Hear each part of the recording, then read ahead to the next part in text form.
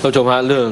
ถนนสุดตัวอันเนื่องมาจากภัยแล้งครับนะครับ เพราะว่าพอภัยแล้งน้ำในคลองแห้งลงแห้งลงก็ไม่ทำทำให้ไม่มีน้ำมาช่วยพยุงดินเอาไว้ครับเมื่อดินสไลด์ไหลลงคลองก็ทำให้ถนนนั้นสุดตัวนะคครัรับบก็มีข่าวทุกวันนะว่าตรงนั้นสุดตรงนี้สุดล่าสุดเมื่อตอนบ่ายสามโมงครึ่งที่จังหวัดพระนครศรีอยุธยานะครับ ชาวบ้านที่พักอาศัยอยู่ริมคลองระพีพัฒน์26 แถวหน้าวัด วัดธรรมจริยาหรือว่าวัดเหนือนะครับ ต้องรีบขนข้าวของออกจากบ้านนะครับ เพราะว่าเกิดดินสไลด์ลงคลองนะครับ ยาว 200 เมตร บ้านเรือนร้านค้าที่อยู่หน้าวัดนะครับซุดตัวไป 10 หลังนะฮะแล้วก็ซุดตัวลึกลงไปมากกว่า 1 เมตรนะครับนี่นะฮะอยู่กันไม่ได้ครับ ต้องรีบขนข้าวของย้ายออกนะครับ บางคนก็ขนออกตั้งแต่เมื่อคืนนี้แล้วด้วยซ้ำไปนะครับ ราะว่าเริ่มมีสถานการณ์ที่มันไม่ดีเห็นไหมฮะลึกมากนะฮะโอ้โห ต่างกันเยอะเลยเป็นเม็ดๆนะฮะครับ เจ้าของร้านขายของชำร้านหนึ่งนะฮะชื่อคุณพับพับจีรานะครับ บอกว่าเปิดร้านขายของชำตัวบ้านกว้างประมาณ 10 เมตร ก่อสร้างอยู่ริมคลองนะครับ ถนนเริ่มสุดตัวมาตั้งแต่เมื่อคืน กว่าจะถึงรุ่งเช้าบ้านสุดตัวลงไปมากกว่า 1 เมตร ต้องขนของหนี ไม่เคยเห็นน้ำแห้งในคลองระพีพัฒน์26 มาก่อนนะฮะซึ่งปกติแล้วหน้าวัดมีปลามาอาศัยอยู่ชุกชุมมากนะครับ แต่พอน้ำลดลงอย่างรวดเร็วนะฮะจาก 3 เมตร 2 เมตร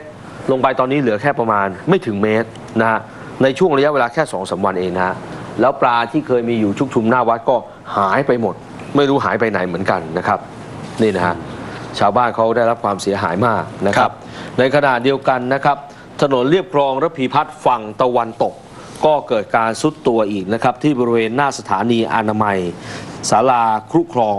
ศาลาครุคลอง 13 นะฮะ ก็เกิดถนนซุดตัวนะครับ ถนนเรียบคลองระพีพัฒน์คลอง 13ซุดตัวเพิ่มอีก 3 จุดนะฮะ นี่นะครับ ก็จุดแรกวัดความลึกได้ 1 เมตร 40 เซนติเมตรนะครับ เป็นระยะทาง 50 เมตรนะครับ จุดที่ 2 ใกล้เคียงกับจุดแรกสุดตัวเป็นระยะทาง 50 เมตร ลึกลงไป 1 เมตร 30 เซนติเมตรนะครับ และจุดที่ 3 ซึ่งมีรถ10ล้อตกลงไปเมื่อคืนนะครับสุดตัวลงไปเป็นระยะ 100 เมตร โอ้โห เป็นระยะทางยาว 100 เมตรนะฮะ วัดความลึกได้ 2 เมตรกว่าๆนะครับ นี่นะฮะ บางช่วงลึกถึง 2 เมตร 20 เซนด้ซ้ำไป โอ้โห นี่ดูนะสภาพโอ้โหรถเกิดหลายจังหวัดมากนะครับ พระนครศรีอยุธยาปทุมธานี สระบุรี ชัยนาทอืมคือคลองระพีพัฒน์มันยาวนะใช่ครับ แล้วก็จังหวัดแถบนี้ก็เอ่อคูคลองเยอะ ถนนเรียบคลองก็มากครับนี่ซึ่งวันนี้ทางด้านนายกวิศวกรรมสถานแห่งประเทศไทยนะครับศาสตราจารย์ สุชัชวีสุวรรณศักดิ์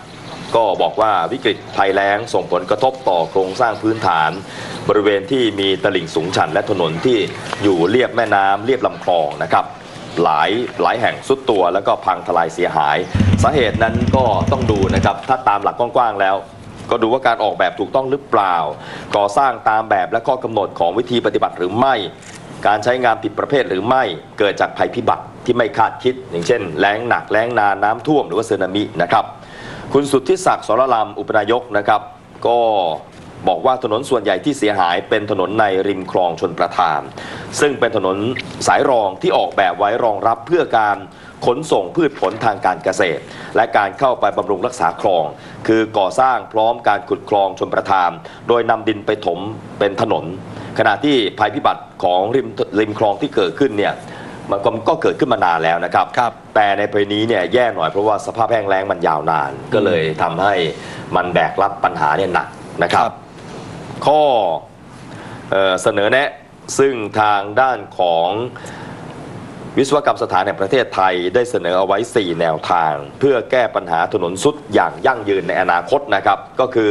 ตั้งคณะทำงานแก้ไขปัญหาทั้งระยะสั้นระยะยาว เนื่องจากกรมชนยังมีหลายหน่วยงานที่ขอใช้พื้นที่ถนนริมคลอง ได้แก่พวกกรมทางหลวงชนบท หน่วยงานปกครองส่วนท้องถิ่นนะครับปัญหานี้ยังคงมีต่อไปในอนาคต ทางวิศวกรรมสถานยินดีเป็นเจ้าภาพกลาง และยินดีสนับสนุนข้อแนะนำทางวิชาการด้วยนะครับครับ สองทบทวนระดับความสำคัญของถนนให้สอดคล้องกับสภาพการใช้งานจริง ถ้าเป็นถนนที่เอาไว้ขนเพียงพืชผลการเกษตรเนี่ยก็ไม่ควรจะมีโอ้โหรถบรรทุกขนาดใหญ่รถพ่วงไปร่วมใช้ด้วยนะครับ 3. การสำรวจชั้นดินฐานรากให้มีความครอบคลุม มีความสำคัญมากในการก่อสร้างถนนริมคลอง ในพื้นที่ดินอ่อน แม้ว่างบประมาณในการสำรวจรวมไปถึงการก่อสร้างจะมากขึ้น แต่คุ้มค่ากว่าการเสียงบประมาณในการซ่อมแซมภายหลังนะครับ 4. หากถนนบางสายอาจจะออกแบบให้ใช้ประโยชน์ในการป้องกันน้ำท่วม ควบคู่ไปกับการใช้เป็นถนนเพื่อการจราจร จึงควรถูกยกระดับความสำคัญให้มาก และควรมีงบประมาณที่เพียงพอในการดำเนินการให้ปลอดภัยในสถานการณ์วิกฤตนะครับครับเนื่องจากปีนี้เป็นปีที่พอถึงหน้าแล้งแล้วนะฮะมีปัญหาถนนสุดตัวหลายแห่ง ซึ่งไม่เคยเกิดขึ้นมาก่อนนะครับอืมคือเมืองไทยร้อนแรงเนี่ยมีมานานแล้วครับแต่ปีนี้ร้อนแรงแล้วก็ถนนสุดด้วยนะครับ